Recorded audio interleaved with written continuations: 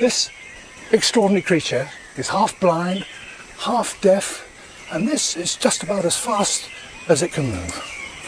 That's what's going to happen to you if you live on nothing but leaves.